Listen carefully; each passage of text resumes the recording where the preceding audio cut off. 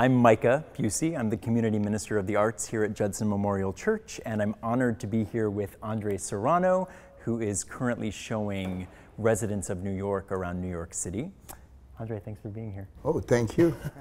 when was the last time you were at Judson Memorial Church? Okay, funny you ask that because the last time I was here, I was 16 years old, and I came because of Lenny Bruce's uh, memorial service in 1966.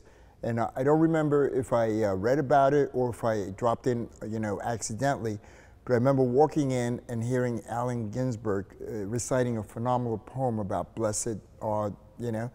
And I remember it was a packed house, and uh, I, I, was very moved. And, you know, I, am just glad to have been here for that moment because I think it was a moment in history. And uh, so that was the last time I was in Judson Church. And what was it like to be in sort of what is known as a, a house of worship or a house of God to people and, and with stained glass windows and things, but to walk in and see something that didn't exactly re resemble a church service, was it, did it sort of make you question what, what a church could be? What was the... Well, actually, it, it did look like a, a, church service to me, uh, but it was also an important literary moment, uh, you know, an historical moment, because it was the death of Lenny Bruce and all of these people the Fugs. Uh, I remember the Fugs were here, um, you know, Ginsberg, and so many other people, uh, notables of the time, uh, came to honor Lenny Bruce and see him off. And so for me, I thought it was more of a, uh, you know, uh, a literary event, you know, a cultural event rather than a religious one. Got it. And you were born in New York City. I was born in New York City, yes. How has New York made you into the artist that you are now? Well, I always think that I'm a New Yorker, and it comes out, you know, in my work. You know, my work sometimes is hard hitting, it's very direct, and it's also uh, influenced by many things. And that's all part of being a New Yorker. You know, I, I, you know, I've seen a lot, I've done a lot, you know, and I'm, I'm happy to be part of the fabric of this city in good ways and bad. You know, uh, you know, uh, later on in the 70s, you know, uh, when I hit my 20s, I was a drug addict on the Lower East Side, uh, selling drugs and taking drugs. And so I, I, saw the, you know, a certain part of New York. And I, have seen the good side, I've seen the bad side, you know, and I, I feel comfortable with the high end and the low end because uh, to me it's all the same. As a New Yorker, I embrace everything. Sure.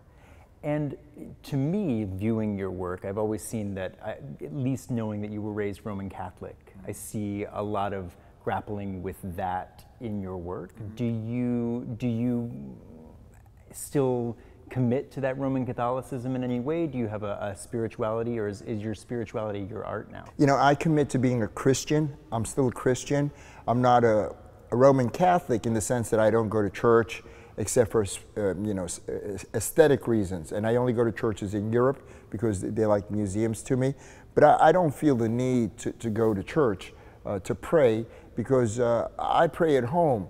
And actually, I'm a collector of Christian iconography, uh, particularly anything from earlier than uh, 15th, 16th century, 17th century. So I have, uh, you know, a lot of uh, uh, objects of the church at home with me. And, and so I feel uh, connected to, to God and to Christ all the time. Can you tell us a little bit, especially since we're in the room where Piss Christ was on on display. Um, can you tell us about that journey, although you've probably talked about it a lot, yeah. um, about what sort of the, the response to that work, what did it do to you as a Christian? Well, first of all, I never realized Piss Christ was on display here. I think it was. Wow, no one ever told me that. Uh, so, well, that I'm honored. I'm honored that I'm I, that Piss Christ was shown in the same place where Lenny Bruce, uh, you know, had his memorial, and uh, Judson Church is, uh, you know, I think I know even though I didn't come back to Judson Church, I was around the square long enough to know that this place has been part of New York City's history, particularly in the West Village and everything that happened, uh, you know, in the 60s and 70s and, and forward from there. It, you know, it, it's an important part of the community, and so I, I feel very honored to be, have been embraced in this way by it. we, we're good at embracing iconography like that. It's, we like here, I think, constantly questioning our Christianity. So we can say that we're Christian, we can say that we're agnostic, but we all sort of find a place in that question, and that's where we find our most sort of spiritual moments. So Piss Christ, does, I know, does that to me, and I think it did that to most of the people who saw it here.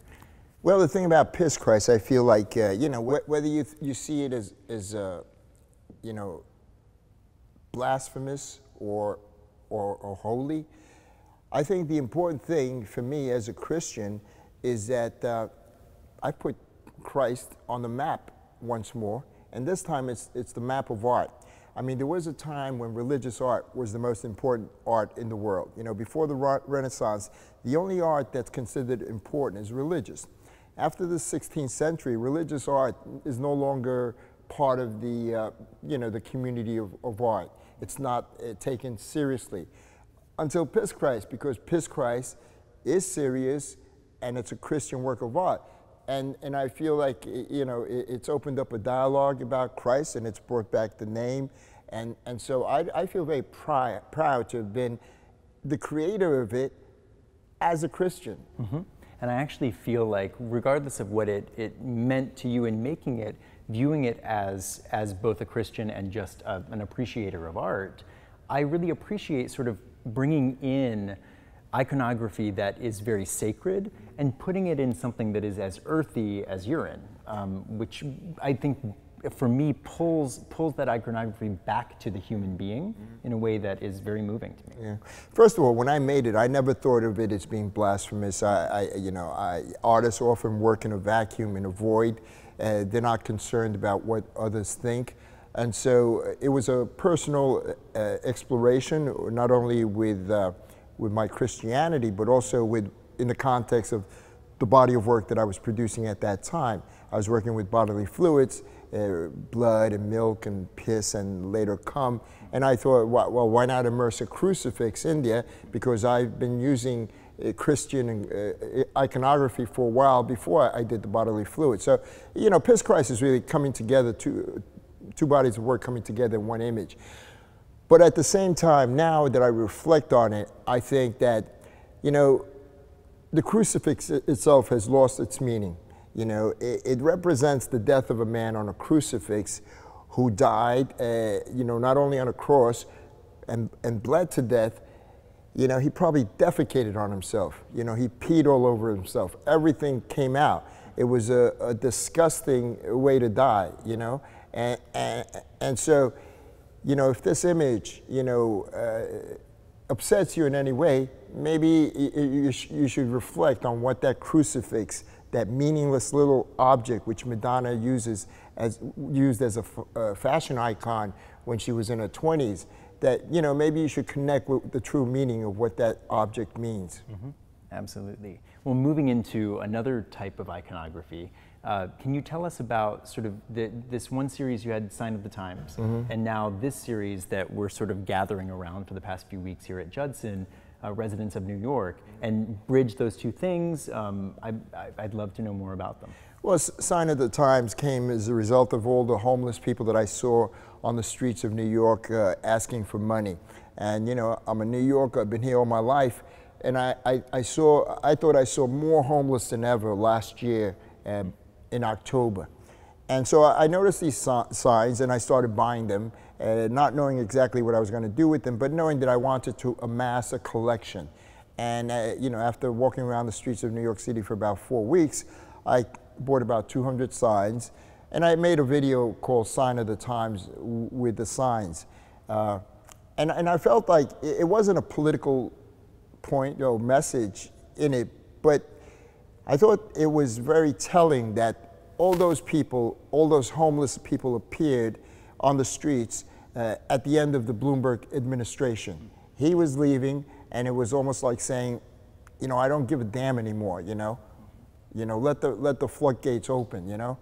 And so, uh, so I bought the signs, made it into a video, and then a few months later, I had, uh, you know, I had been asked to do an installation, a public installation with more art, and I thought, well, you know, I let me continue this idea of working with the homeless.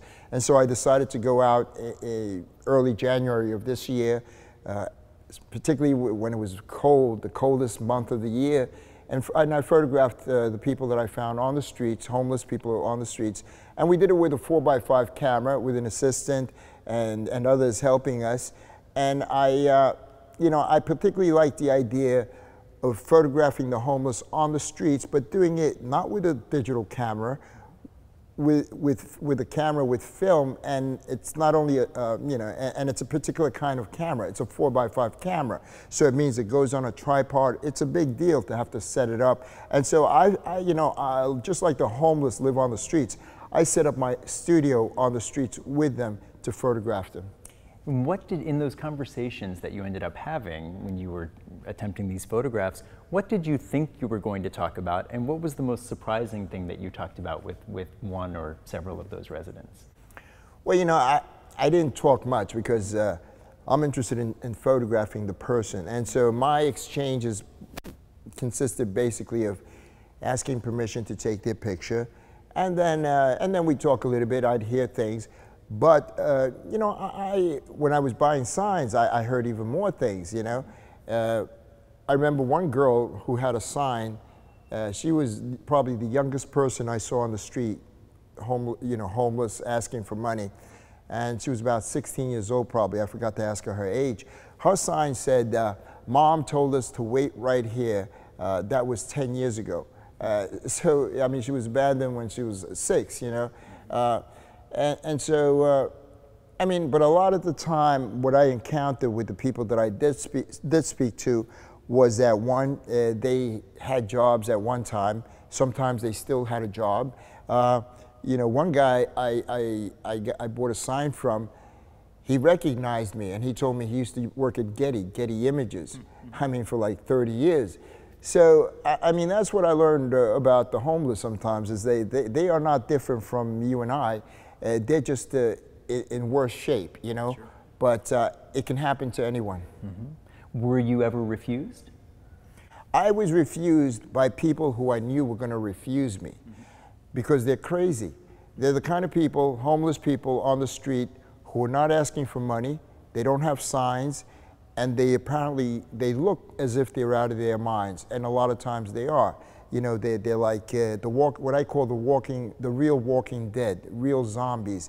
And, and, you know, it's funny because I saw them, do, you know, I saw them at times in very crowded places where they have no clothes on practically. You know, they're filthy, they're talking to themselves, and they have this crazed look.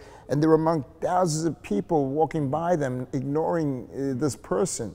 But these are what I call the real walking dead. And I would approach them anyway knowing that, that, but at a distance, you know. And what I would say is, hey, can I talk to you? And they would either give a growl or they would give me a dirty look or say something that I knew meant fuck off. Sure. And so I did fuck off. Sure. Have you ever, have you had any further contact with any of the subjects? You know, I, I had a contact, uh, a couple of the subjects came to the opening uh, here, uh, but I had contact with uh, with a, with a couple, you know, people that I still see on the street, and whenever I see them, you know, I you know I give them a little something, you know, uh, and I say hello. But uh, one of the per persons that really affected me was actually, I believe, the first portrait that I did. Uh, it was a couple that I have uh, approached before. I have bought signs from them before, and uh, so I went up to them and I said, "Listen, they were in their 20s." And I said to them, listen, I'm not buying signs anymore, but this time um, I'm taking pictures. Can I take your picture? And, uh, you know, I said, I said, you know, I pay everyone, I'll pay you both for it. And they said, sure. And then, uh, and then I was looking at the guy, you know, and I said to him, whoa, your eyes are yellow. Your eyes are very yellow. And he said to me, yes, uh, I, am sick. You know, I've been to the hospital for medication, but uh, yeah, I have, I have a liver condition. So I took his picture and, and then two weeks later, another homeless person who knew me as, as someone who had been photographing people around the block said, came up to me and he said, You know, that guy Red that you photographed, he died. So we, we uh, More Art uh, has been in touch with, with the family, you know, and his wife as well. What happens to you spiritually when you set out to take a photograph, when you do take the photograph, and was it different when you were taking these photographs?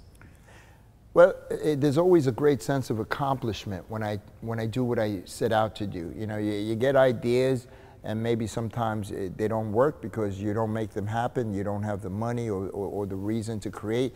You know, I need a reason to create. Otherwise, I'd be creating for things that uh, are not going to go anywhere because I have so many ideas. So it was good that when More Art was very specific, they said, we're going to do installation. And when I knew what they wanted to do, and I knew we were going to do it in a certain uh, space, you know, then I, I, I, knew what I wanted. Then it was easier to focus. So it's always a great accomplishment to be able to do work because I feel like that's the, that's the best thing I do in life. You know, I do a lot of other things, but this is the best thing. And this is actually the thing that I'm here for. You know, I was put on this earth to create, and so I, I got to follow my destiny, you know. And, and so it's always a, a, a great satisfaction to do that, you know. We all have our purpose, our mission in life, and so when you fulfill yours, you know, you, you can't help but smile.